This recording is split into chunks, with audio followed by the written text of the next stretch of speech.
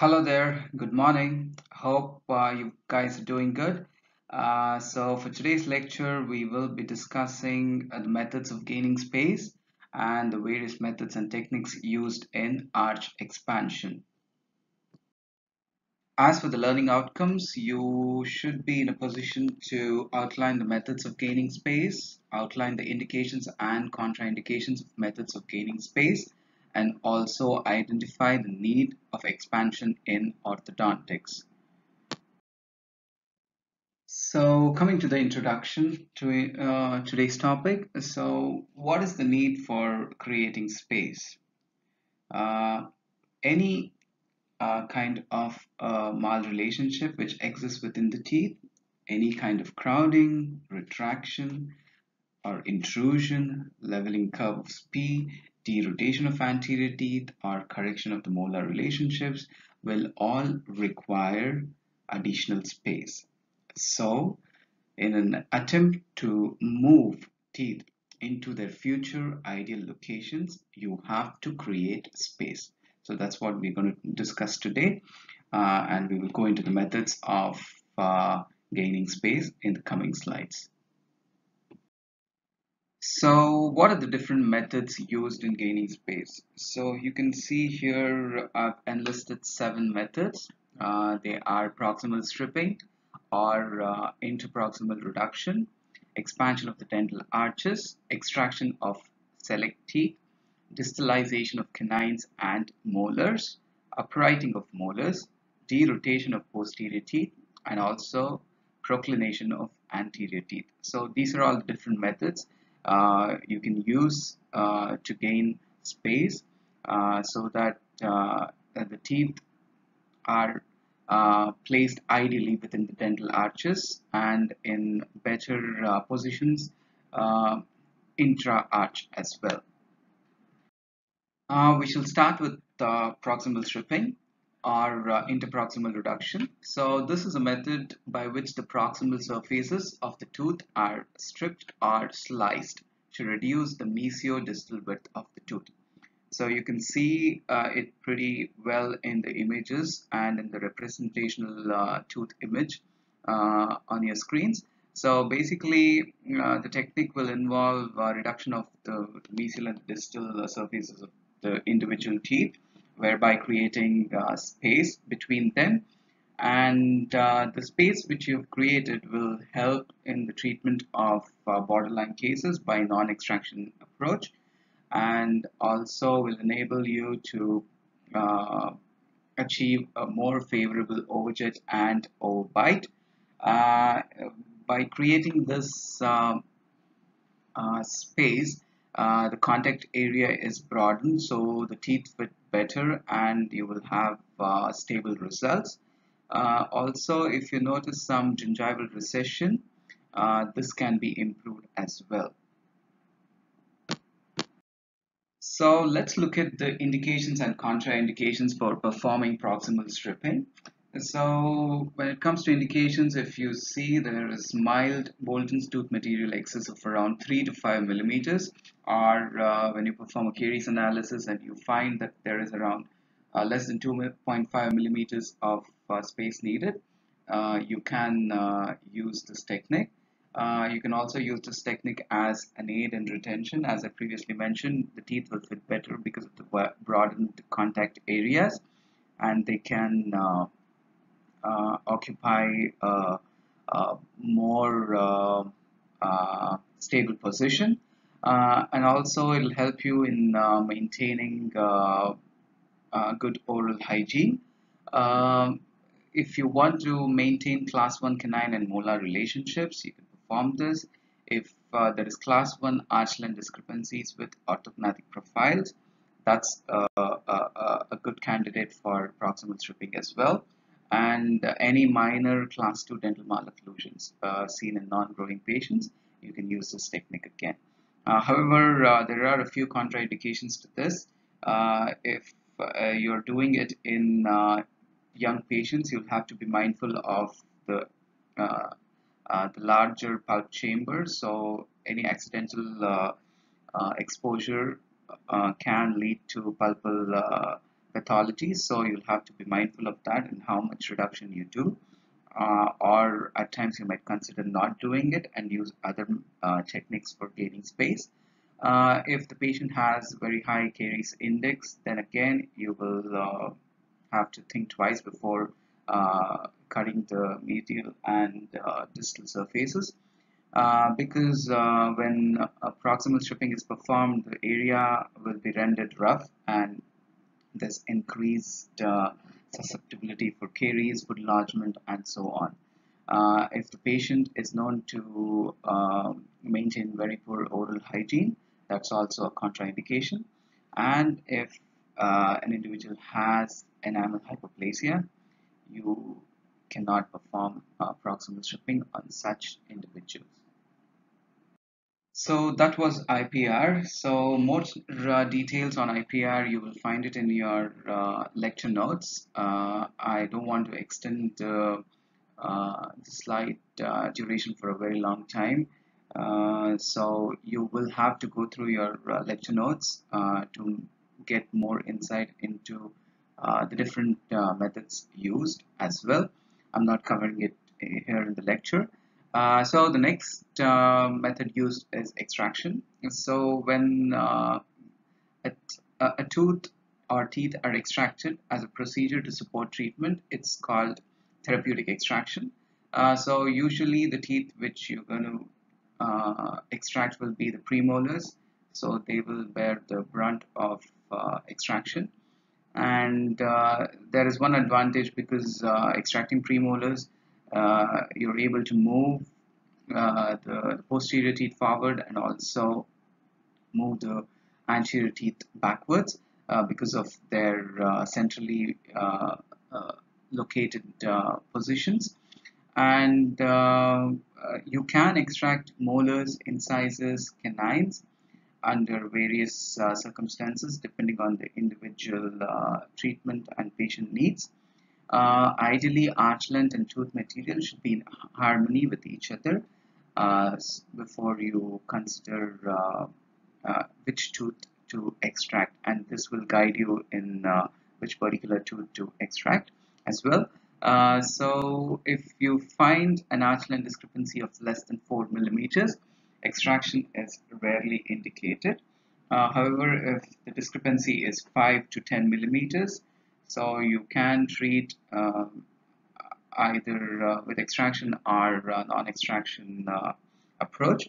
And if the arch length discrepancy is over 10 millimeters or it's beyond that, extraction is definitely required.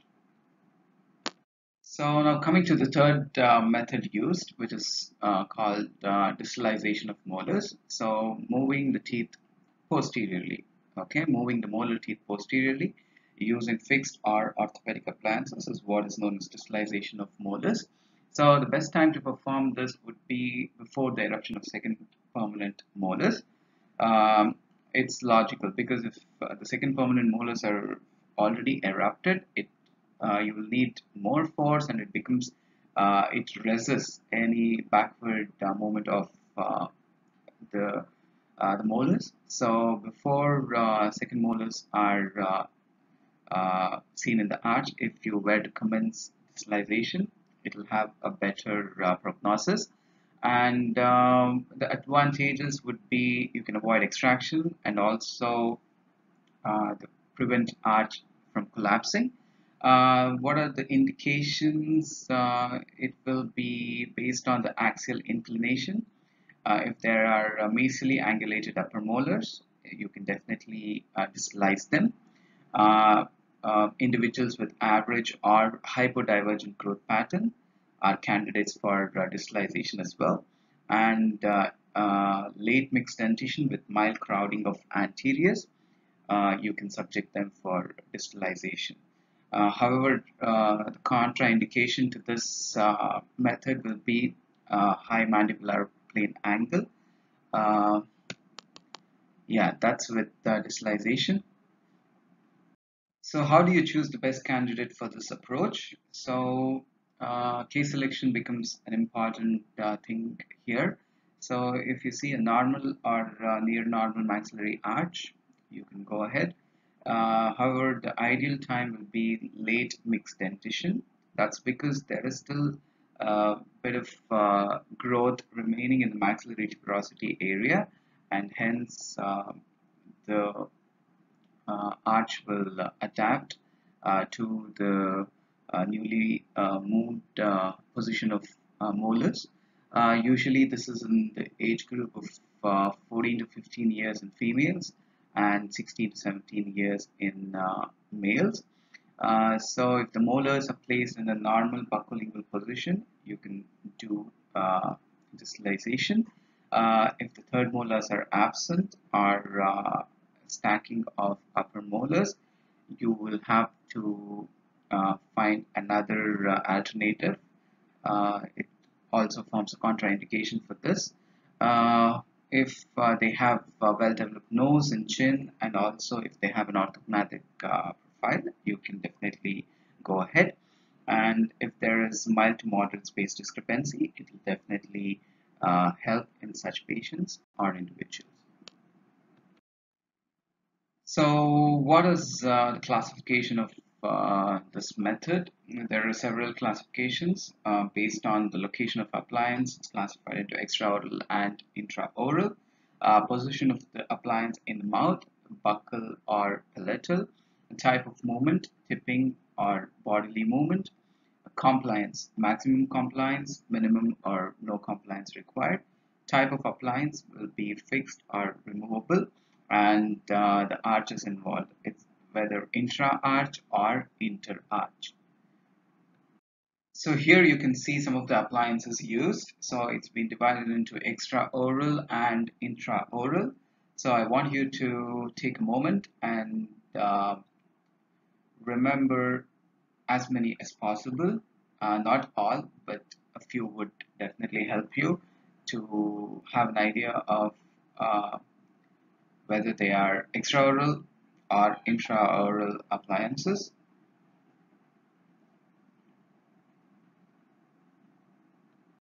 So another method of uh, distalization is using uh, mini implants. Here uh, it is uh, more efficient and faster because the reciprocal forces are not transmitted to other teeth but they can be concentrated at that particular tooth or teeth which are being distalized and also uh, they provide true anchorage that there is no movement of uh, the anchor teeth as in the conventional anchorage. Uh, they can be indirect anchorage or direct anchorage and they come in various dimensions from 6 to 10 millimeters and can be used in any part of the mouth. It's as such a very efficient uh, process as the molar movement depends on the direction of the force which is in relation to the center of resistance of the molar and magnitude of force. So when you control these you have an efficient distalization of molars. So the next uh, technique uh, or method you can follow is uh, the uprighting of molars. So as you can see in the image, if the molar was mesially tipped and you were able to uh, upright it, so you automatically you've gained enough space to uh, retract the rest of the teeth into that space or uh, fit a prosthesis or an implant if the tooth is lost or you know you can you can work your way through that space. So however uh, if there is a premature loss of second deciduous molar or extraction of premolar uh, that's the resultant uh, effect which you see in the image. So uprighting of these teeth will help you in gaining space uh, and these are done using molar uprighting springs. Uh, now coming to the next uh, method, uh, which is the derotation of posterior teeth. Here, uh, correction of rotated teeth provides extra space within the arch, uh, and this is achieved either through fixed appliances or appliances with springs and elastics. So derotation of posterior teeth, however, will take more time because of uh, the, the number of roots and However, the, if you derotate posterior teeth, space is gained uh, whereas for derotation of anterior teeth, space is required. So before you attempt to derotate uh, a rotated anterior tooth, you have to understand that you have to create enough space for that particular tooth to be derotated into its ideal position. Next and uh, the last uh, method uh, of gaining space is proclination of anterior teeth. It's indicated when teeth are retroclined and uh, in individuals where the soft tissue profile is unaffected and uh, this can be easily achieved through fixed appliances. So the next method and the last method we will be discussing is the expansion. How do you expand a dental arch? I think that was the question Emerson in 1860 uh, answered for us. So he suggested rapid maxillary expansion and hence he's known as the father of expansion appliances. And it was also Walter Coffin in 1877 who designed uh, Coffin spring uh, to aid uh, expansion of the maxillary arches. So um, RME can be slow, semi-rapid or rapid. It can be achieved through removal or fixed. Uh, fixed can be both tooth-borne or tooth and tissue-borne and it can be banded or bonded. So what are the diagnostic aids for performing RME? You'll have to have uh, good study models, detailed uh, clinical history, and also you will need to equip yourself with the radiographs, OPG, posterior anterior, and maxillary occlusal. Here you will see some of the indications for performing uh, an RME. Uh, so they are grouped as dental and uh, medical.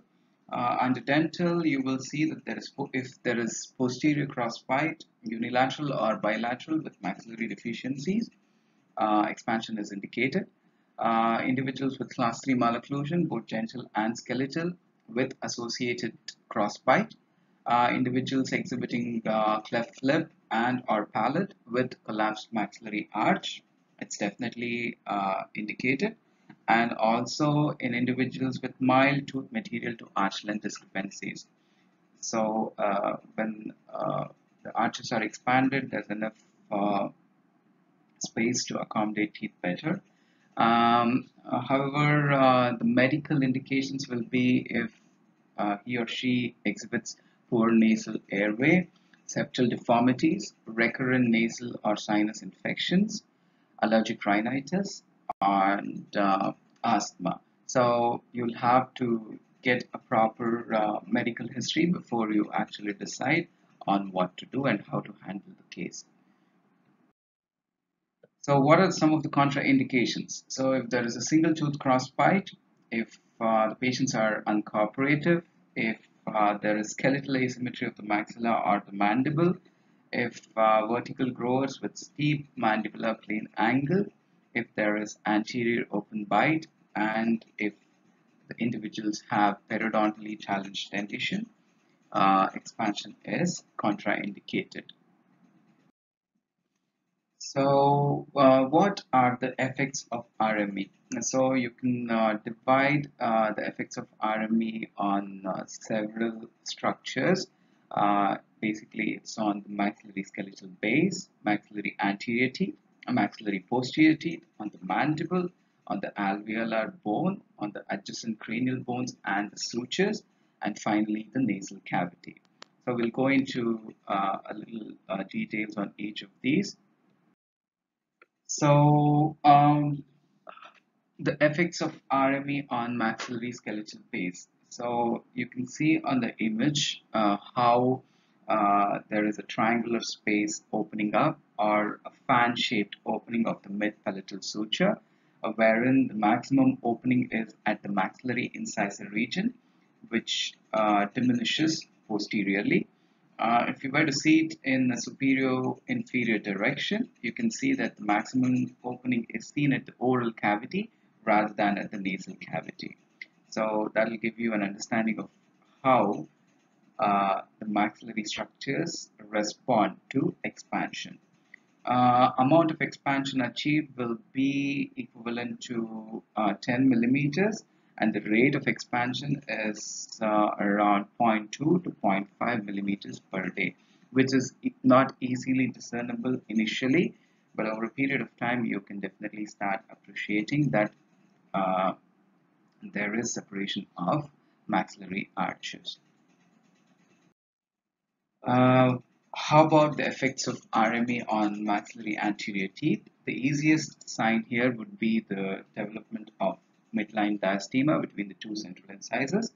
As you can see on the image uh, where the arrows are pointing, uh, the moment there is uh, separation of incisors in the midline, a midline diastema is clinically evident and then uh, it's uh, indication that uh, maxillary arches are expanding. Um, the effects on uh, maxillary posterior teeth. Uh, the teeth will uh, start tipping buccally and there might be some amount of extrusion as well uh, once the arches start separating. Uh, however, uh, the effects on the mandible, uh, there will be some amount of downward and backward rotation of the mandible, sorry, as a result of extrusion of the maxillary posterior teeth. All right. So when it comes to the effects on the alveolar bone, uh, there will be slight amount of uh, bending of the buccal plates owing to the compression of the periodontal fiber and also due to the resilient nature of the bone. So the bone bends slightly buccally. Um, uh, how about the adjacent cranial bones and sutures? They are known to displace the parietal and occipital bones. And finally, the effects on nasal cavity. Uh, separation of the outer walls of the nasal cavity can lead to an increased intranasal space. So how do you perform uh, RME? Uh, so you can use some removable appliances. Uh, however, uh, they are known to be less reliable and have questionable uh, skeletal expansion possible through the use of them. however, they produce some effect during deciduous or early mixed stages only. the appliance here will consist of an acrylic uh, plate which is split at the midline with a midline screw with retentive clasps on the posterior teeth or uh, at times with the labial bow on the anterior teeth. Uh, however, uh, uh, with these um, appliances, the disadvantages are uh, patient cooperation and also difficulty in retaining the plate in the mouth. You can use several fixed appliances for uh, gaining space through expansion um, because they are more uh, reliable and produce a more uh, consistent skeletal effect. So what are some of the common types? So the first one we'll be discussing is uh, Wheeler uh, type expander. Here uh, uh, the, the, the, expansion screw is in the midline with has two acrylic uh, plates on either side. And uh, the appliance is secured um, through premolar bands and molar bands. Um, and also the wire tags will extend onto the acrylic plate so that there is enough uh, stability for the appliance Uh, the next type is known as Haas type expander. Here there are uh, lingual support wires on either side of the midline um, uh, with a acrylic plate and expansion screw in the in the midline. So activating this will push the lingual wires against the posterior teeth resulting in expansion. The next appliance is uh, Isaacson type expander. Here, instead of uh, an acrylic plate, it's replaced by uh, expansion screw and uh, there are buccal and palatal metal flanges. So activating this screw will uh, push uh, the buccal and palatal metal flanges outwards, resulting in expansion and the the other uh, uh, kind is uh, Hyrax. So here uh, you can see uh, the Hyrax appliance fitted in the patient's mouth, uh, wherein there is a screw in the midline in the mid-palatal region, and also it's secured with a premolar band and a molar band. So you can also see the direction in which the screw has to be activated for um, uh, any kind of uh, a positive expansion to take place. We also have uh, bonded appliances uh, which cover a variable number of teeth and they'll consist of a cast cap splint made of either uh, copper or silver and uh, acrylic splints. So here you can see the teeth are uh, enclosed within an acrylic splint and there is an expander in the mid-palatal region. So those were some of the expanders you've uh, seen which are uh, commonly used in uh, orthodontics. Uh, however, there are certain guidelines you'll have to follow uh, in order to understand uh, um, when to stop and uh, what to look for when you're using these expanders. So general guidelines are uh, there to assist us in understanding these. So you will stop expansion when the maxillary palatal cusps and the mandibular buccal cusps are at the same level. Okay, if the maxillary palatal cusp is uh, above uh, the buccal cusp of the mandibular teeth, that's an indication to stop expansion. And uh, the screw thread should also uh, be checked in each appointment uh, to look for uh, remaining thread. if you don't do this and if you go on expanding, there'll be a point of time wherein the screw is no longer available and then the screw can disengage and the appliance halves will be free to move okay uh, so uh, to prevent this you can uh, place some acrylic to secure the screw once you've done that you can use the same appliance as a retainer and retain the teeth in that position for three to six months uh, for uh, healing of the uh, transeptal fibers. Uh, so um, you can also use um, uh, Hawley's or a transpalatal arch as a retentive aid once the required amount of expansion is achieved. So here you can uh, see an expansion uh, screw and the key. Uh, it basically consists of an oblong body divided into two halves which can move in opposite directions. Uh, so here if you turn the key uh, 90 degrees it will uh, cause a linear movement of 0.18 millimeters. So the activation schedule uh, for uh, these uh, uh, expanders is important for you to understand and remember. So I would encourage you to pay some uh, attention now. So there are two um, uh, methods or techniques proposed. One was by Timms and the other one is by Zimring and Isaacson Sim, Timms recommends um, 90 degree rotation both morning and evening for uh, uh, individuals up to 15 years of age. If they are beyond 15 years, then you will use 45 degree rotation four times a day. And uh, Zimring and Isaacson divided uh, the individuals into two groups, growing and non-growing. In a growing group, you will have to uh, turn it twice a day, four to five days, then one turn per day till the desired expansion is achieved. And for the non-growing group, two turns a day for two days, then one turn per day for five to seven days, followed by turns on alternate days till desired expansion is achieved. So depending on uh, what age group you are uh, treating and what kind of schedule you want to follow, you'll have to remember and uh, follow it precisely so that uh, whatever uh, expansion you desire will be achieved. Uh, there's also a surgical uh, method of uh, gaining space, I mean, of creating this expansion. So it's called surgically assisted uh, rapid palatal expansion or rapid maxillary expansion. So uh, when do you subject a patient or an individual to surgery? It depends on the resistance to separation in the maxilla due to the mid-palatal synostosis, mid-palatal interlocking, and circummaxillary rigidity. So age becomes a factor, so you have to uh, assess that.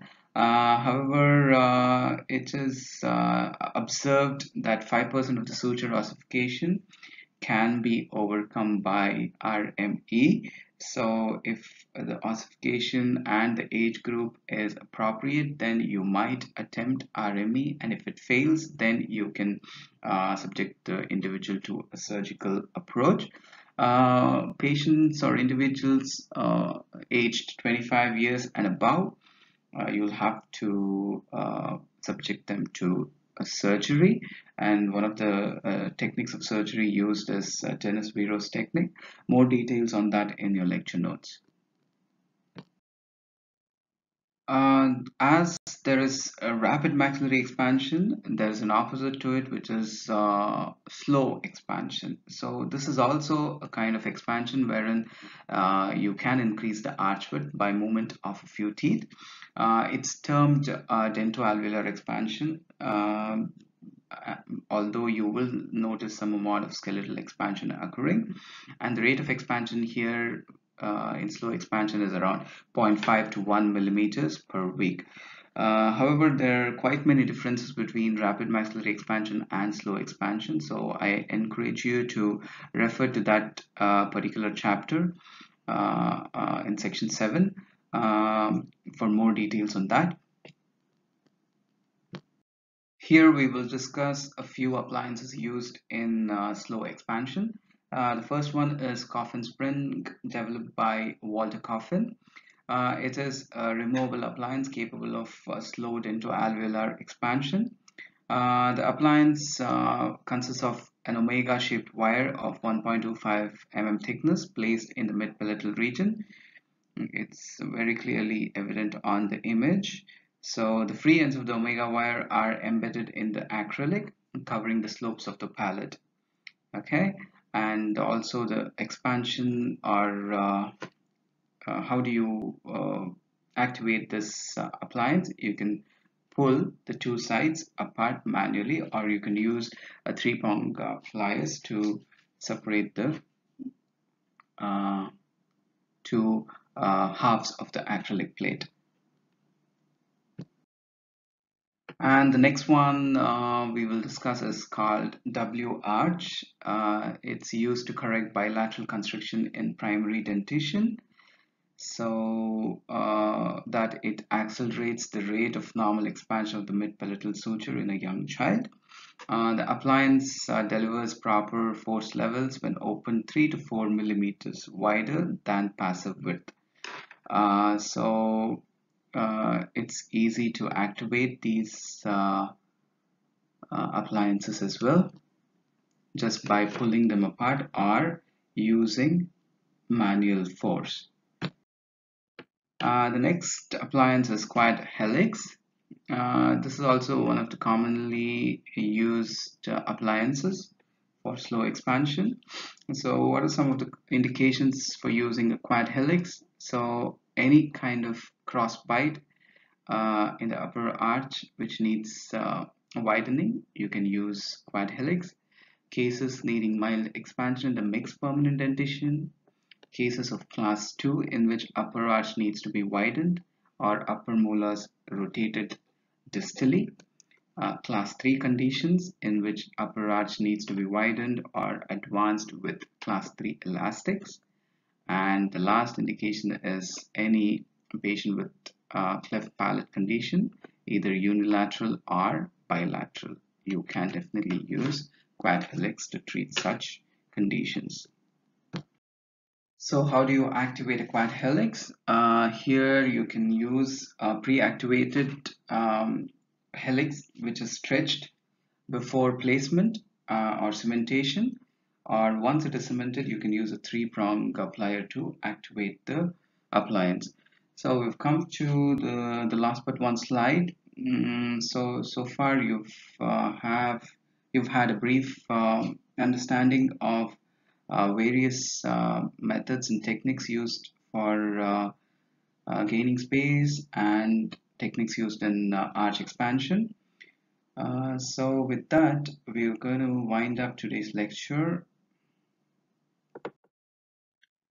Uh, hope you've had uh, a clear understanding. Uh, for more detailed uh, understanding, you'll have to refer um, section 7, as I told you uh, in the textbook of orthodontics for the differences between rapid and uh, slow expansion.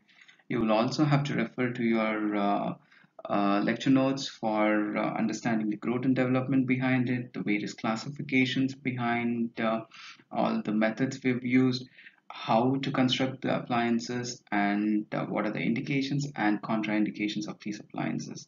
So I don't want to uh, burden you uh, a lot uh, with these uh, explanations in this uh, lecture. I want you to have a brief understanding. Once you have this brief understanding, you can definitely go back, refer, and um, you know go into a little more reasoning by yourself. So I want you uh, your participation there. Um, however, if you come across any difficulties, you're always free to reach out to me. Okay, with that, uh, we're going to end today's lecture. Thank you for listening.